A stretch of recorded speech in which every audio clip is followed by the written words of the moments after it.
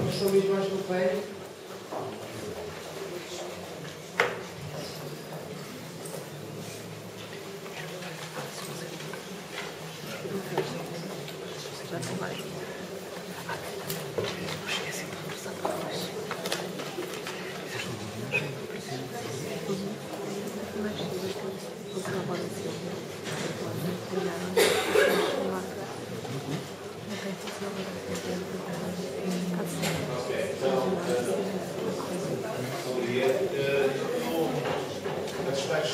De duas imagens. Há, há, um, há um parênteses que eu gostava de dizer. Realmente, mais importante que o crescimento económico e que as preocupações com o seu possa ter neste.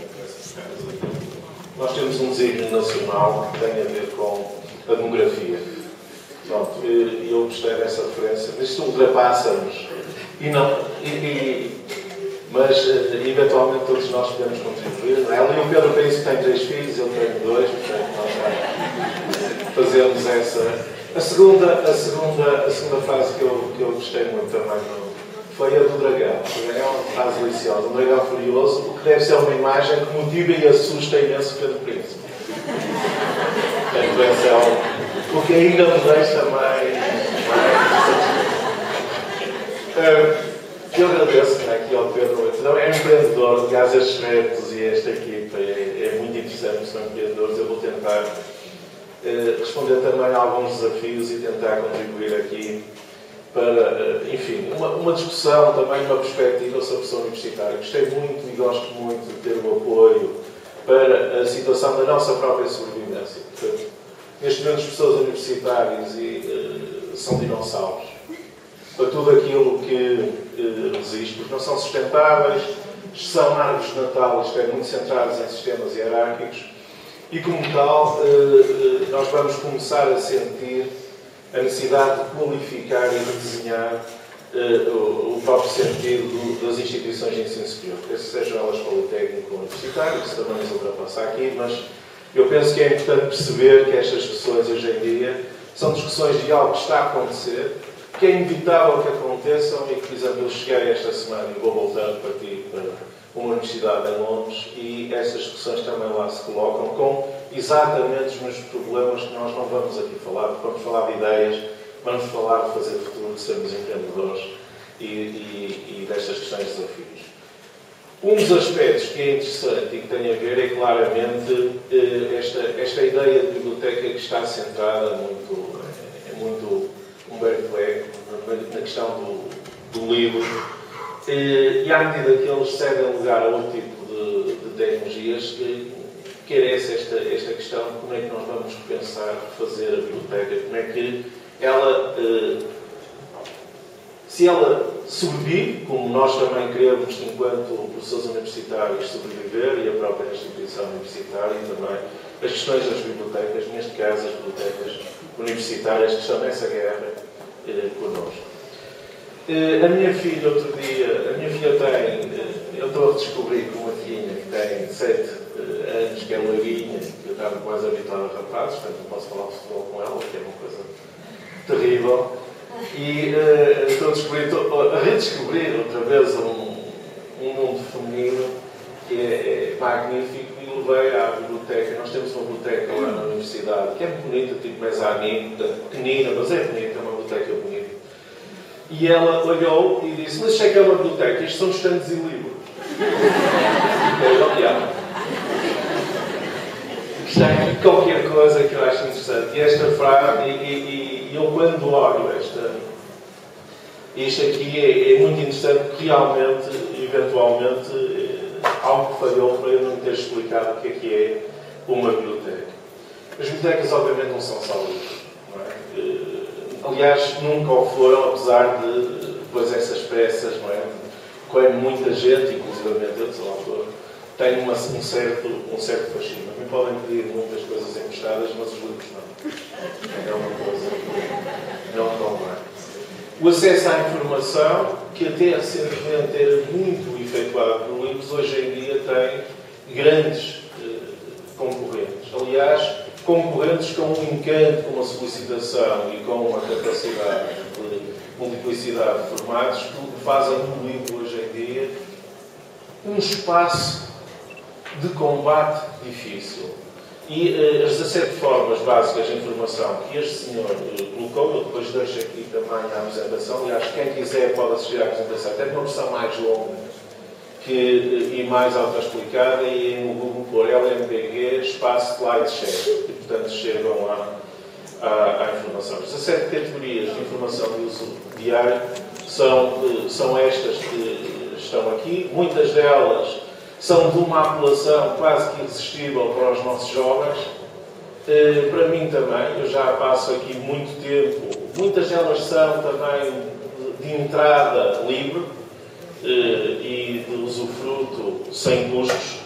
E eh, muitas delas, inclusivamente, estão em convergência com o digital, nomeadamente as questões dos MELs e dos zones e dessas coisas enfim, incríveis que têm acontecido nos últimos tempos. Obviamente não são substitutos diretos dos livros, mas constituem uma forma de desgaste do seu papel dominante. Logo, a nossa própria imagem da biblioteca tem que resultar alterada, se não a nossa, a dos nossos utentes, é? dos nossos utilizadores. Se for um espaço vivo, essa a imagem do livro é diferente. Cada uma delas está a ter lugar na Biblioteca do Futuro e o declínio ou não dos livros é claramente uma discussão paralela a isto. Não é necessariamente a discussão da própria biblioteca, embora muitas vezes haja essa tendência.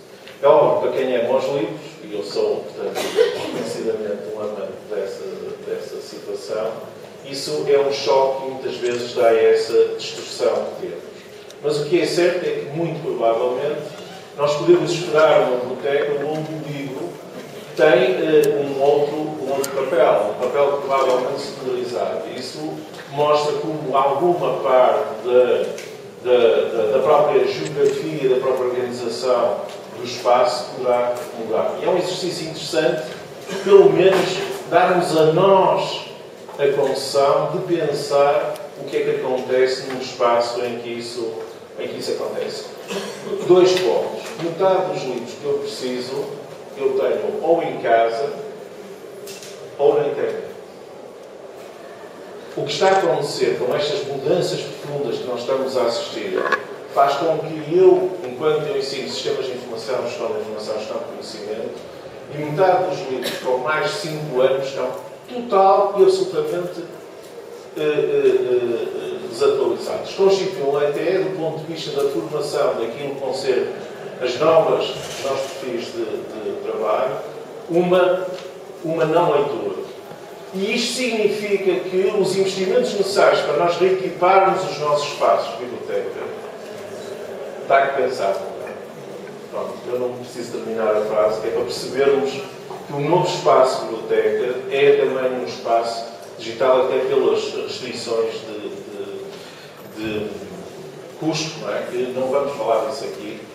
É um dia alegre e, portanto, eu gosto de falar essas coisas. Cinco forças de transformação que eu penso que constituem desafios interessantes para nós. A primeira, como não podia deixar de ser, a questão do digital, do uso de computadores e redes, daquilo que foi aqui dito como a desmaterialização. A consequência da informação está em convergência de formatos, com a Transmédia, que agora começa a estar por causa das indústrias criativas, que também é uma nova, é um novo concorrente, assim como outros espaços culturais. Então, há aqui convergências e, ou, ou, ou, ou concorrências novas. A questão dos conteúdos com multimédia, do tratamento, armazenamento e comunicação, com a questão de integração da informação e isso são aspectos também interessantes. Por exemplo, um aspecto que eu gostei muito enquanto professor é ser auxiliar na produção e marketing científico. Porque hoje em dia os custos associados com isso e o tempo que é necessário e produção de equipas não é de todo fácil. Okay? Portanto, e toda a ajuda a esse nível faz com que tenham a atenção toda do mundo da parte das pessoas que são um parceiro ideal para levar os públicos e para estarem envolvidos. É? Portanto, esse aí tem que haver uma relação amorosa e essa aí é fácil. É? é um bocado como em casa, como pode ver pela minha figura, uma comidinha, um jantar de escolha. Totalmente. Então, isso corresponde ao professor universitário a essa, a essa situação. Outra questão que também é muito importante, e nós não podemos contorná-la, é a questão da sustentabilidade. Aliás, a Sociedade da Informação trouxe essa, essa grande realidade, que é a realidade do, do fazer mais com menos, ou fazer muito mais com o mesmo. Não é? Nós estamos a perceber é que fazer milagres não é quase possível, mas é que coloca-se, ou recolocamos outra vez estas questões. Quem faz, quem paga, quais os benefícios, que equilíbrios manutenção e adaptação, quem usa, quais os serviços, critérios de eficácia e eficiência. Não é? Portanto, às vezes, por exemplo, quando temos certo tipo de serviço, isso colocou-se agora na BO, que efetivamente nós temos que perguntar quais são os que são verdadeiramente usados. É? E temos algumas surpresas sobre o que é que é o verdadeiro uso. Não se tem aquela zona de conforto, as coisas existem e vermos qual é que é o uso. A terceira questão, e que é essencial no contexto das universidades, porque as universidades estão a perder a guerra daquilo que é a Universidade do século XXI, o seu papel na sociedade. Por várias questões, isto dava agora para falarmos aqui muito, é outro dos assuntos que me, me, tenho, me tenho posto a pensar, até porque é uma questão de sobrevivência, não é? e que tem a ver com a cultura versus conhecimento, que é uma coisa não resolvida, assim como a cultura versus ciência. Nas nossas universidades isso não é resolvido. Do estoque à criação de conhecimento e da preservação ao conhecimento aplicado com valor social. São aspectos, todos eles, onde as bibliotecas académicas têm claramente um papel ou podem ser parceiros importantes, tal que, para terem uma ideia, hoje em dia a investigação científica pode ser agilizada, aplicada e instrumentalizada de uma forma muito mais fácil pelas próprias empresas. Logo, a produção de conhecimento a ideia da Casa do Conhecimento pelas universidades tem que ser repensada, porque já nem ser exclusivo, já não há muito tempo. Qual é a instituição que mais eh, prémios Nobel tem em Física e Química? Portanto, naquilo que é o Big Science. Tem um nome, chama-se IBM. Isto é preciso pensar, que já não não é de ontem, mas que são realidades novas com as quais nós temos que colocar. Outra última tem a ver com a da informação, mas não, há mais uma, que é a questão das redes e da nossa necessidade de estarmos em rede cada vez mais. Porque essa é uma forma de, enfim, nem todos nós, enquanto humanos, devemos estar sempre em carga. Portanto, depois aparecem cabelos brancos, não, é? não tenho cabelo suficiente, não tenho cabelos brancos, apesar dos meus 47 anos é sempre mais não é bom? Uh, ainda acho bom. Mas já não achei, agora acho outra vez, dia destes. Olha, vou-me assustar com isso. Mas a questão, a questão que se coloca aqui é que aquilo que nós podemos fazer tem muito a ver, acima de tudo, com as questões de sinergia e de partilha. Há aqui muito que nós conseguimos fazer em conjunto e isso já foi percebido na sociedade da informação por todo o mundo que é competitivo.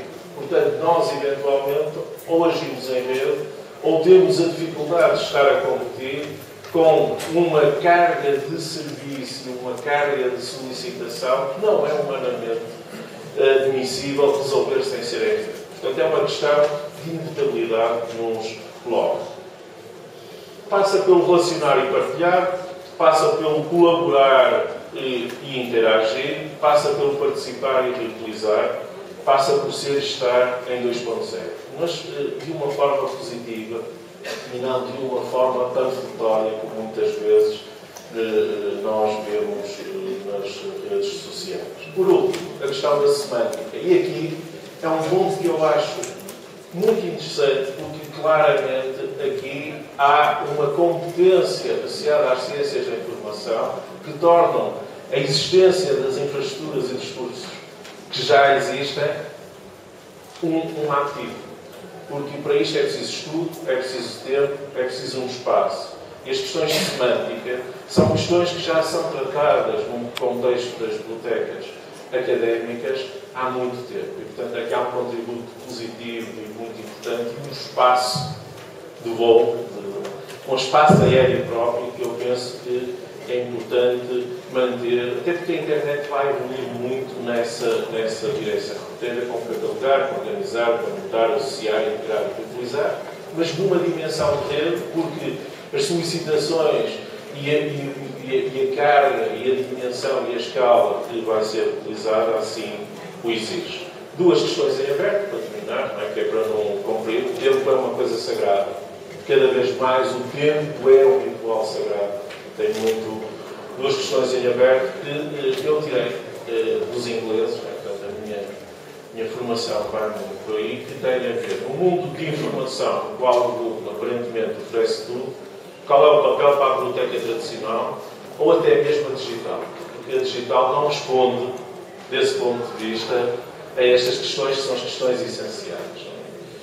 Num ambiente de biblioteca que é cada vez mais aproximado online do que dos cursos impressos, qual é o papel que cabe à biblioteca académica no coração do campus universitário? Sabendo também que a universidade está em mudança. Okay? Portanto, eu agradeço a paciência e espero que possamos dialogar com base nestas questões. Obrigado.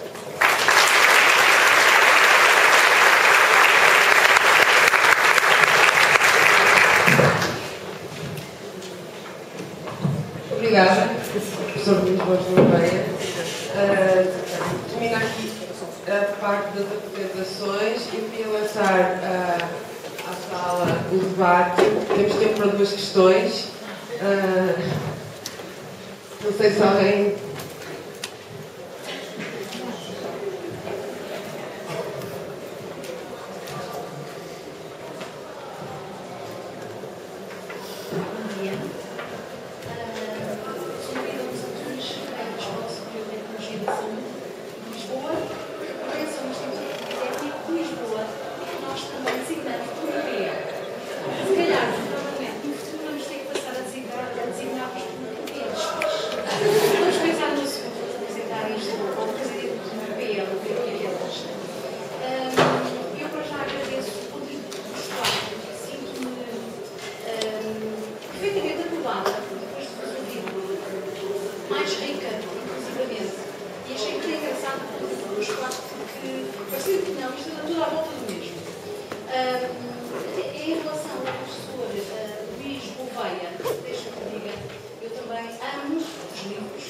grande amante de livros E, mas permita-me, eu empresto todos os livros.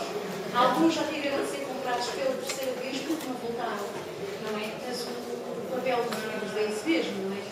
Um, no entanto, deixo aqui algumas, algumas ideias, inclusive as informações finais, que acabaram por uh, ir de encontro a algumas questões que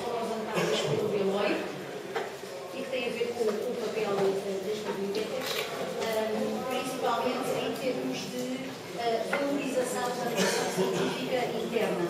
Um, ou seja, o papel que para nós nos passa não só pela gestão dos dados científicos da produção científica interna, mas também pelo fomento da cultura científica e da comunicação científica para o exterior. Isso é interessante.